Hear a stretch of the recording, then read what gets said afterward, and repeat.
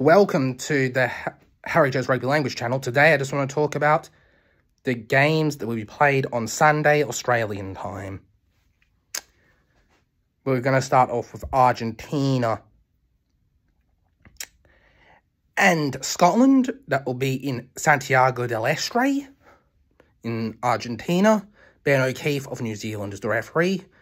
Then we got South Africa, Wales in Cape Town. They'll be refed by Matt Carley of England.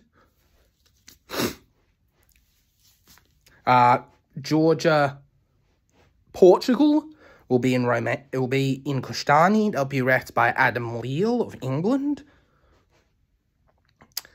Um, and then we've got Uruguay, Romania. That's in Montevideo. That'll be refed by Pierre Brousset of France. Then it's USA Chile, the return leg in Glendale. That'll be refed by Luke Pearce of England.